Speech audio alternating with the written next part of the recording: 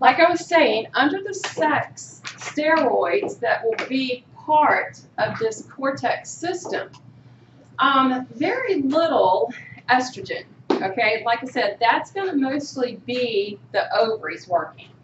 Now, for the androgens, they are controlled by the ACTH from the hypothalamus. The ACTH, of course, was also controlling the cortisol. Now, the major androgen is DHEA, um, dehydroepiandrosterone. Yeah, say that a couple of times. But have you heard of this one? I've seen that a lot. You've seen that a lot. Anyone else seen it a lot? Um, uh, in, in any way? Can't remember where. I just know I've seen it a lot. Yeah, it's one of those that we look at and we go, okay, well, um, I've seen that, I've heard that, blah, blah, blah, blah. Medication commercials and like their warning signs. Exactly. And so, you know, that's why I love marketing, okay? Because marketing will give you something that's kind of catchy, but then they don't really explain what it is. And they're like, oh, well, you know, it'll help this or help that, and not really be like, well, what is it? I, I don't know what it is. Tell me what it is. Okay, this one.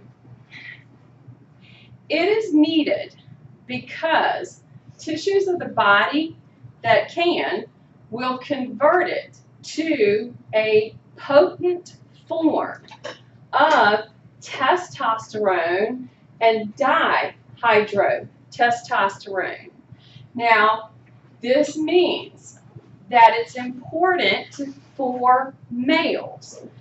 One of the ways that you have probably seen this, it is associated with like, um, I think baby formulas, Mhm. okay? Uh, you might see that it says it's a good source of DHEA or beneficial to the brain for this or something like that. So it's important for male fetus development and the male reproductive tract. Now, at puberty, these androgens in both sexes are going to play a part in secondary sex characteristics. So think about like the changing of the voice, the um, pubic and axillary hair, those types of things, those secondary sex characteristics. The estrogen from the cortex area, okay, estradiol. However, the quantity is so small when compared to the ovaries. But after menopause, it is our only source of estrogen along with the fat in the body. People always wonder why I don't have wrinkles. And I tell them, because I've kept my fat cells full. And, you know, they'll be like, what? It's because the fat cells, and, you know, now that I'm way past that 50 point, okay, and I'm like, I've still got estrogen in my body. You know, everybody laughs at me, but I, I it's, you know, supposed to be fun. So, um, it's my way of keeping estrogen. Now, this adrenal gland, do you guys, okay, now, if you take a peek at this structure, the medulla region, okay, now the cortex, and like I said, it is very different in structure. So when you are looking at it under a scope, it is very identifiable to have one, two, three layers present. So, this gland, believe it or not, in the time of development, egg and sperm meet, fertilization occurs, one cell becomes two, two becomes four. They're actually independent of each other. But they're connected. And one, okay, we need one to have the other and, and, and back and forth. So each one stimulates the other because without cortisol, the medulla would atrophy. Some of the cells of the medulla extend into the cortex. When we get a stress reaction, okay, stress activates the sympathetic nervous system.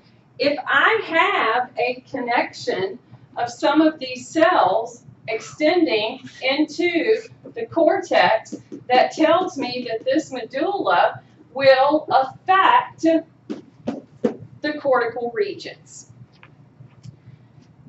So even though they seem to act independent, they are dependent upon each other. so sympathetic mostly for the medulla, hormonal endocrine for the cortex region. That's our lovely adrenal gland. The next gland we're going to talk about is the pancreas. Very important, all right? Um, the pancreas, located just below and behind the stomach, secretes digestive juices. This would be its exocrine function, which if you look at the histology of the pancreas, that's the majority of it, okay? Now, the endocrine portion, that is where, if you look at the histology, like a cross section through it, we have these islands that exist in its structure. That's what an isolate means, okay? An isolate means an island. So located throughout the structure are these isolates. Now, they're going to contain two types of cells.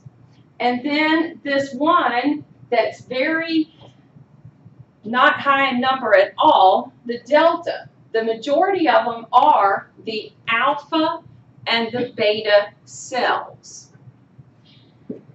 These islands, the cells that exist, the hormones regulate glycemia. Glycemia means blood glucose concentrations. Known anybody who has diabetes? Type 1, type 2, all right? These are the areas that are affected. Okay, these little isolates.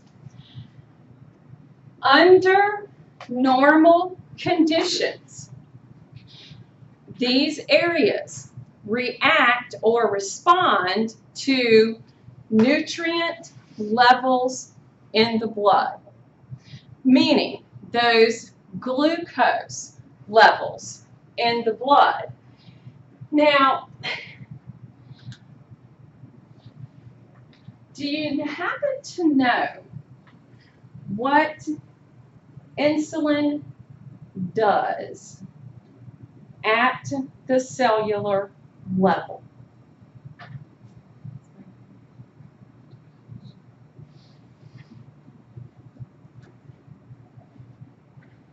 Stabilizes something with the glucose, sugars.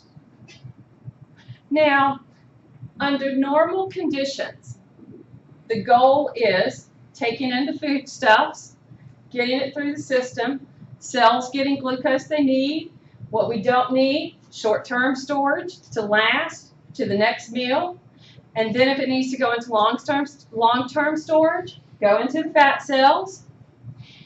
The way that it should work with the help of insulin, okay, at the cell, it's almost like insulin acts like a key that will unlock that cell's ability for that glucose to come in and work. Under normal conditions, that's what happens. Okay? If we don't use it all, it'll go into short-term storage. Glycogen, does everybody remember glycogen? Okay? And then long-term storage becoming part of the fat cells. Okay?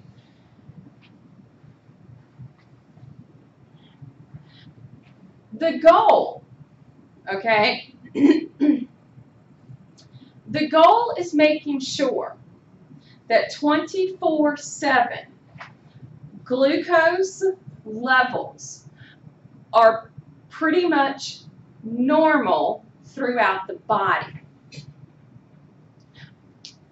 Why?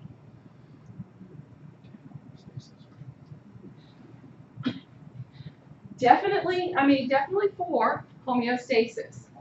But why glucose? You need it for your nervous system.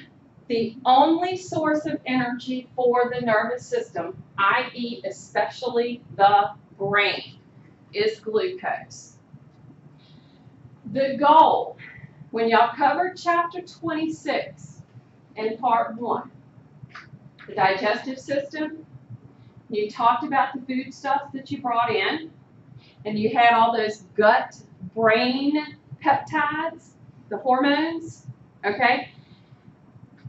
The goal was to maintain from meal to meal, and then for that long period of time when you had from dinner to breakfast.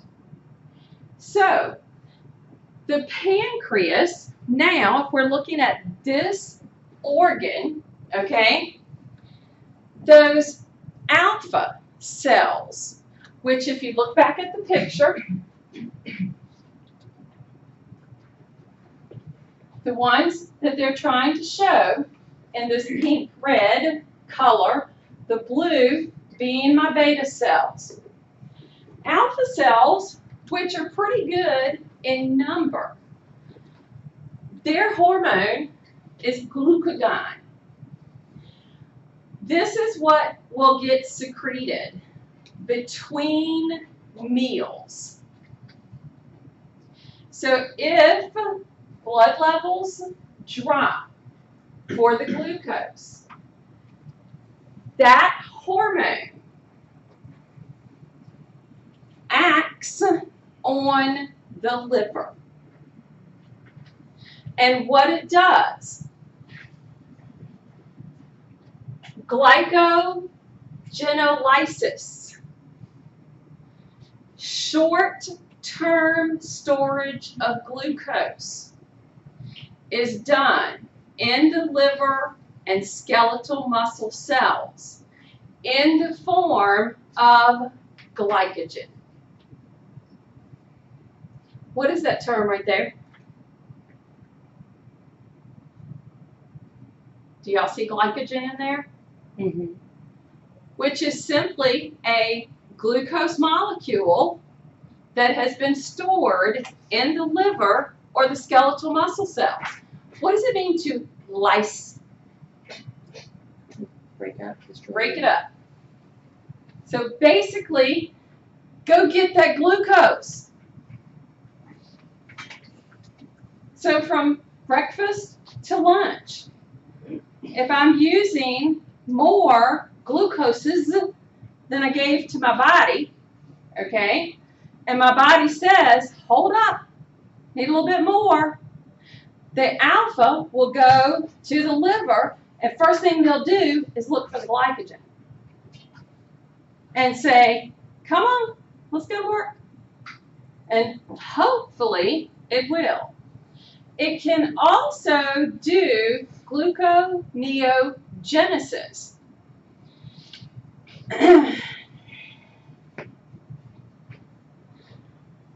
this would be, Genesis meaning new, okay, uh, the beginning. So therefore,